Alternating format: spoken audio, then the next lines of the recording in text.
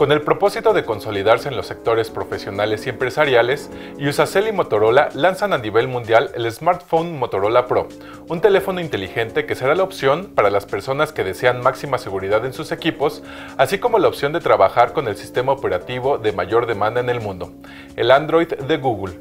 Se trata de un teléfono de barra de 119 x 60 mm